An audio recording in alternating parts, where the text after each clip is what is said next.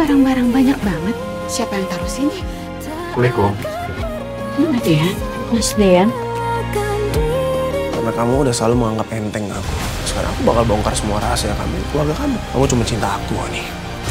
Bantu saya buat mikirin si Om. Saya udah bener-bener pengen jauh dari dia dan saya nggak mau dia ganggu hidup saya lagi.